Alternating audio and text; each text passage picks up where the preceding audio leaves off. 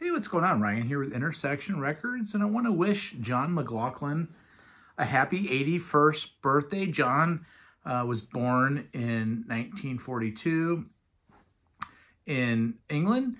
He uh, is a guitar player, started taking lessons at the age of 11, inspired by people like Django Reinhardt.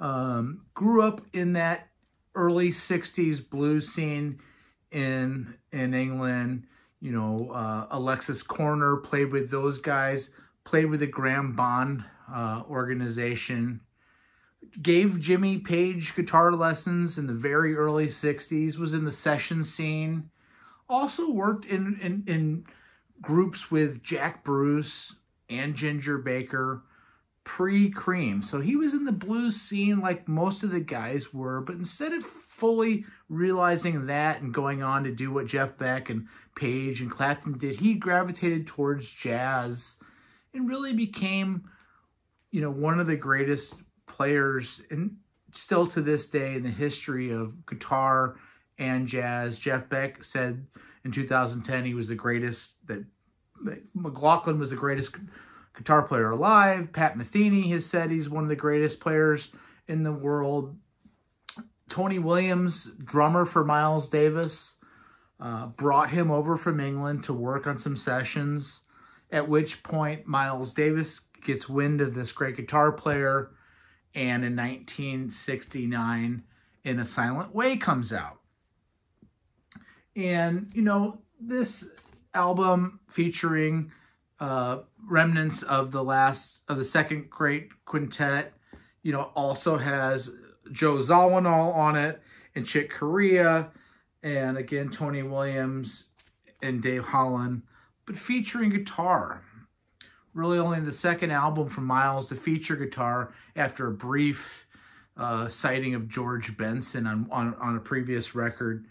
You know, followed up in 1970 by the classic and seminal, really a silent way is also, but Bitches Brew, also featuring John McLaughlin. In the meantime, Tony Williams has formed a band called Lifetime. Tony Williams' Lifetime's first record called Emergency uh, features McLaughlin, and the second record features Jack Bruce on bass. You know, post Cream. McLaughlin sticks around with Miles through albums like A Tribute to Jack Johnson, right? And the live album from Washington, D.C., from the cellar door, Live Evil. You know, again, just fantastic lineups here. Uh, ferocious jazz fusion. You know, working with Miles is a rite of passage for a lot of these guys. And if you look at the family tree of of bands that have come out of the Miles Davis scene. It's incredible. Return to Forever, uh, you know, Weather Report, Herbie Hancock ultimately forms the Headhunters. Um, well, he tells John in 1971, you need to go out and do your own thing.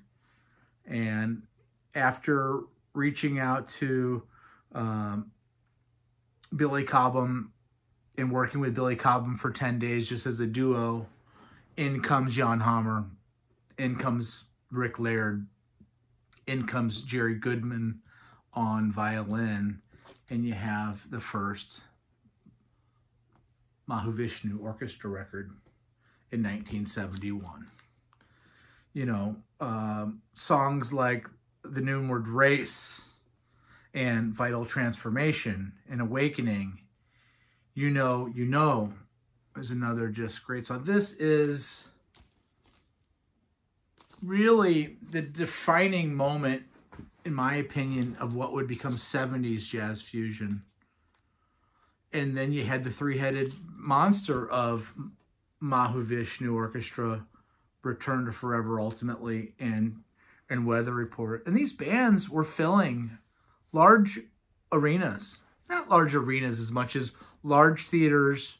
Maybe they would open up for, you know, a Uriah Heep or a, a Jethro Tull or a band uh, bigger than them, but really steal the show. You know, in some cases, opening up for bands that, you know, everybody's leaving after they play. That's how how powerful they were live. I mean, Billy Cobham on drums alone is a powerhouse. Jan Hammer is coming into his own, experimenting with synths that are that are new to the scene, and John McLaughlin on guitar, and many times with a double neck Gibson. Did Jimmy Page get the double neck Gibson idea from from from John McLaughlin? Absolutely. Um, you know, it's Jimmy Page bows at the feet of of of his teacher, Mahavishnu. You know, Chinmoy is an Indian spiritual leader who gave John the name Mahavishnu, and that's where he comes up with the band name Mahavishnu Orchestra. The second record is equally as great. It's called Birds of Fire, again featuring the same cast of characters. You know, songs on here, um, you know, like the title track. The song Miles Beyond is unbelievable. Sapphire Bullets of Pure Love. You know, these are special records. This is not for the faint of heart. These are very intense records that do take time to, to, to slow down in your mind because this is full throttle jazz fusion. Um, a lineup change featuring Cobham leaving, Narada Michael Walden coming in. You have Visions of the Emerald Beyond in 1973.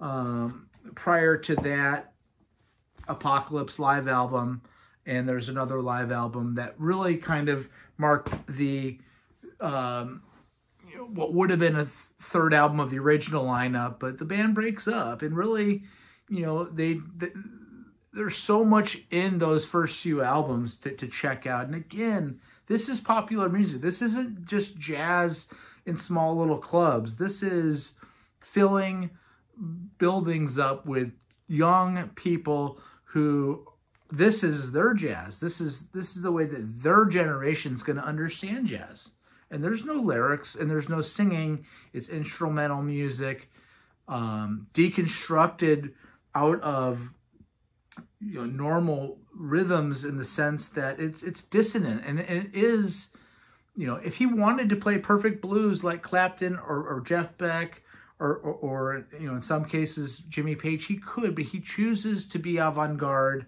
and a little free in his playing he gets together uh, with Carlos Santana in 1973 for Love, Devotion, Surrender. This features uh, a Love Supreme cover of, of, of, a famous John Coltrane song, uh, Naima, uh, Meditation. You know, this album also features Mike Shrieve on drums from Santana's band. Uh, Billy Cobham is also on this. These This is mandatory mandatory records. And again, this is not for the faint of heart. Uh, after after uh, Mahavishnu breaks up, he gets into Indian classical music, more acoustic music with tabla playing by Zakir uh, Hussain and other players. When I saw Shakti was the name of that band in 1999, I got to the theater and they were all sitting Indian style on on uh, rugs and with acoustic instruments and tabulas and and, and, and, and Indian drums. And it was, it blew my mind. I, I didn't know, you know, similar to when in the early 90s I got into Mahavishnu, I wasn't sure how to handle it because it was so outside of my comfort zone. It's literally taken me 30 years to understand and for it to slow down my mind. Um, same with Shakti but it's mesmerizing. The playing's great. He does solo albums like Electric Guitarists in the later 70s. You know, again, filled with cast of characters like Chick Corea and Stanley Clarke and De Jack DeJohnette on one tune. Jack Bruce and Tony Williams as a trio on the second song. You know, Cobham and McLaughlin on the third. You know, just Jerry Goodman and Cobham. Again, a little bit of a Mahavishnu return. Narada Michael Walden and Tom Coster on keyboards. Tom Coster, famous for the mid 70s Santana era with like Moonflower. Think about the, those keyboards. I love that Tom Coster from Detroit. Uh, Alphonso Johnson and Tony Smith on drums, Dave Sanborn from St. Louis, Missouri, Kirkwood, Missouri to be specific. This is mandatory stuff. In 1980, I believe, this masterpiece comes out. Now, this is a more flamenco, more acoustic guitar with Paco de Lucia and Al Di Meola and John McLaughlin on a Friday night in San Francisco. This is one of the best-selling jazz records in the history of music, and, and it really borders into flamenco and classical um, because John's, again, capable of more than just the blues. He left that for the, for the Claptons. He's capable of more than just jazz. He can play Indian classical. He can play classical. He can play folk. He can play whatever he wants to.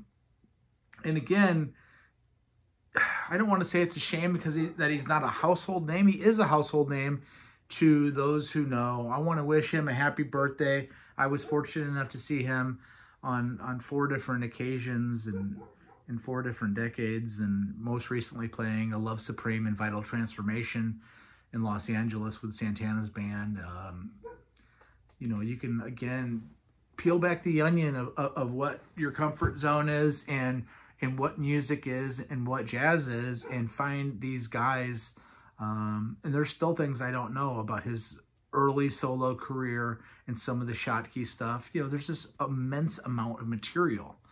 Uh, the stuff he did with uh, Gary Husband on keyboards and drums. Um, he's worked with Jimmy Herring from Widespread Panic and, um, you know, Aquarium Rescue Unit on some Mahavishnu stuff. Anyway, that's my show for today. Happy birthday, John McLaughlin. You're 81. You're a legend, and you're one of the greatest players of all time. Hope to see you soon, and and and take a look at my channel and subscribe if you like. Peace out. See you.